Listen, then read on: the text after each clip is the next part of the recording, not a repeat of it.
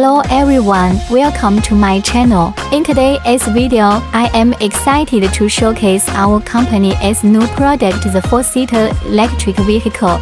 This car features a stylish exterior and a luxurious interior, making it a great choice for families. Next, I will demonstrate how to use it. Simply turn the key, release the handbrake, shift the gear, and gently press the accelerator to start your journey. In the next video, we will showcase the car's electric windows, electric wipers, seat adjustment methods, and how to drive forward and reverse.